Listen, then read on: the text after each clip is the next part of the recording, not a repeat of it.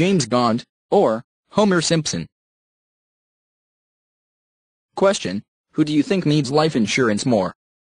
James Bond. Or Homer Simpson. If you said Bond, you're not alone.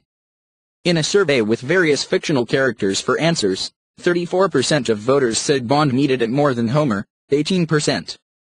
James Bond may seem like the obvious answer, the guy puts his life in peril for a living, but it's actually Homer Simpson, the factory worker, who has the greater life insurance need. Here's why. For one, Homer Simpson has a spouse and children to protect. James Bond is single. Also, Bond is provided with unlimited resources. Homer has debts and expenses to cover, like a mortgage, car payment, and groceries. He also has his family's future needs to think about, like doctor bills, weddings, and college. Without his income, his family could suffer a huge financial burden if something were to happen to him. September is Life Insurance Awareness Month, the perfect time to consider your life insurance needs.